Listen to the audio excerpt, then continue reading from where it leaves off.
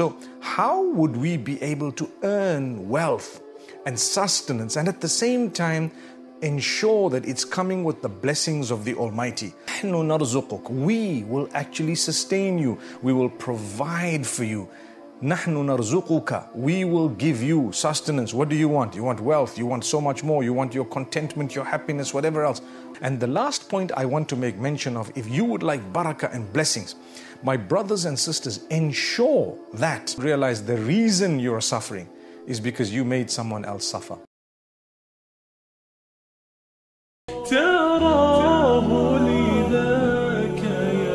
Assalamu alaikum. My brothers and sisters, Everyone wants to know how much money someone else has or others have.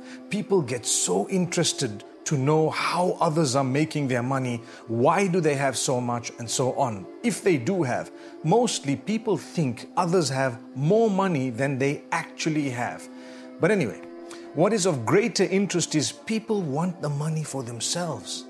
Now, what is all this about money? Allah Almighty says that certain things have been beautified for man as a test.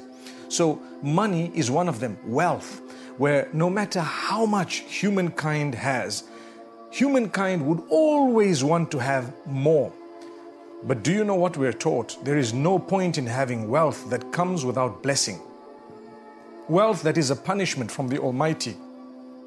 There is no point of having so much when it comes with you having lost your connection with the Almighty, or no happiness, no contentment, no good health. We need enough so that we can survive, perhaps lead a relatively comfortable life, reach out to others using the same wealth, and at the same time, receive the blessings of the Almighty. We want goodness, happiness, contentment, whatever else, lovely families. We would like a beautiful, cozy home where, as we think of going back home, already the heart is calmed not a home where you think about it and you don't even want to go anywhere near, or as soon as you get in, you're totally distressed. That's not a home.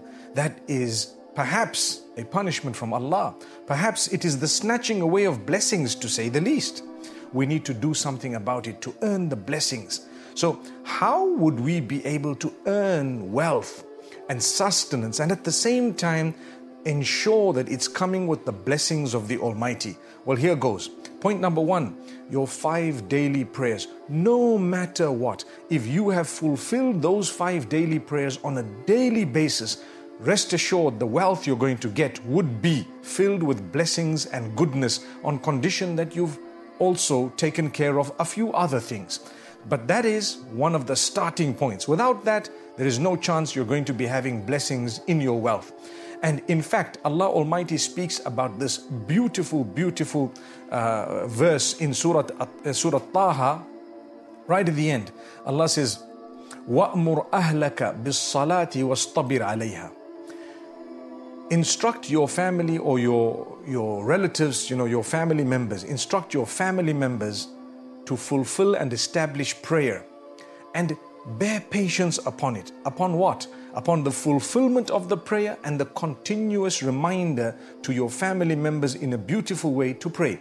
When your father, your mother, your brothers, your sisters, even your children were to remind you about prayer, don't feel upset. It's from Allah Almighty. They will tell you, please pray or get up, it's time for Fajr, and so on. You know, come on, do your prayers, it is late, and so on. Those are the blessed words that were sent to your ears by Allah Almighty.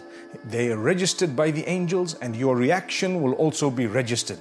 Be careful. Let's try and react correctly. It's like when the caller calls to, for, to prayer, he says, Hayya ala salah, Hayya ala falah. Allah has instructed him through the blessed lips of Muhammad, peace be upon him, to call out to people to say, Come to prayer, come to success. Those two come hand in hand.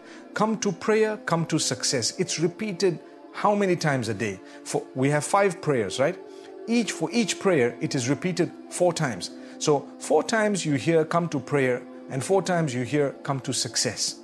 Now, my brothers, my sisters, multiply that by five. 20 times a day you're being told, come to prayer, come to success. You've heard it. If you've heard it, your reaction is also recorded. Subhanallah. Now, if you were to pray, look what Allah says, وَاسْطَبِرْ عَلَيْهَا Be patient upon the prayer. persevere, continue, make sure it's not easy to get up in the morning to make. there will come a time once you do it for a while that you're just awake at the time. You feel like praying. Go and cry to the Almighty. Wash yourself and fall prostrate for Allah Almighty. When you're reminded to pray, don't be lazy, don't be, don't be upset because that is true success. Here, Surah Taha, Allah Almighty says, La nas'aluka rizqa. We are not asking you to sustain us or for sustenance. We're not asking you sustenance. Nahnu narzuquk. We will actually sustain you. We will provide for you. Nahnu narzuquka. We will give you sustenance. What do you want? You want wealth. You want so much more. You want your contentment, your happiness, whatever else. We will give it to you. As a result of what? As a result of you bearing patience upon prayer and instructing your family to pray. So when you tell each other to pray, by virtue of that beautiful instruction, you will already be achieving blessings in sustenance. That is amazing. That is amazing. And if you don't remind each other to pray and you're living in the same house, don't expect further blessings from Allah Almighty. Subhanallah. Even though He does give us, sometimes it's not a blessing. People get wealth as a source of their ultimate downfall. That has happened to so many in the past. The Quran's given examples of that. So we need to be careful. My brothers, my sisters. That is point number one prayer, five times a day. The second thing you need if you would like to achieve lots in terms of sustenance and blessings and, and, and lots of contentment and goodness and happiness and even multiplication in wealth, you must ensure that you seek the forgiveness of Allah on a daily basis. In Surah Nuh, he tells his people, the Prophet Noah, may peace be upon him, Istaghfiru rabbakum innahu kana ghaffara. Seek the forgiveness of your Lord. Indeed, He is most forgiving, oft forgiving. Yursilis sama'a alaykum midrara. He will send beneficial rain from the heavens, meaning from the skies. Uh, upon you beneficial rain. وَيُمْدِدْكُمْ بِأَمْوَالٍ وَبَنِينَ He will grant you, subhanallah, lots of wealth as a result of what? Seeking forgiveness you know, getting onto the same page as He who made you. So, seeking forgiveness, He will grant you lots of wealth and lots of children, offspring, blessings.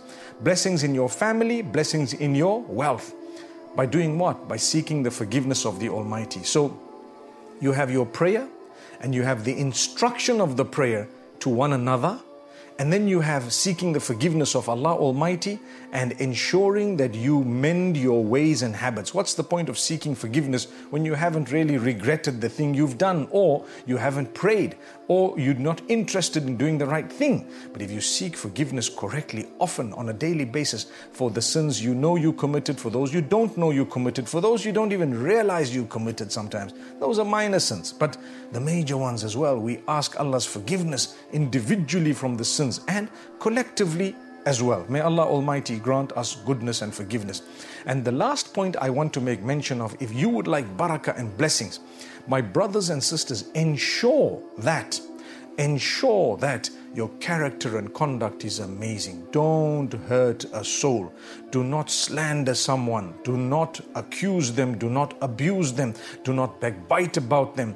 Do not uh, hurt them in a way that, subhanAllah, it comes back to you with evil because that's called hukukul ibad, the rights of fellow humans. And Allah is very quick, Allah is very quick to retaliate against someone who has hurt people who are close to Him. Subhanallah. So you'd rather stay away.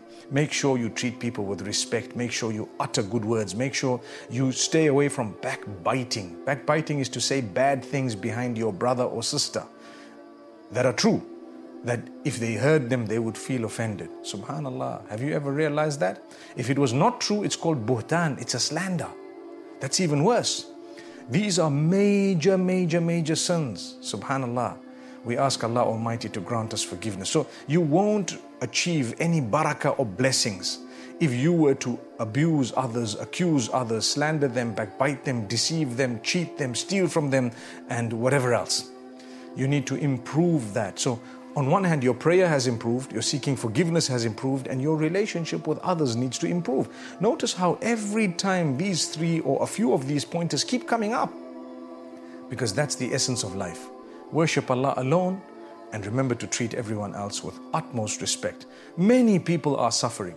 Many people are struggling in their families, in their uh, wealth, in their health, with their contentment. They don't realize the reason you're suffering is because you made someone else suffer. That's all.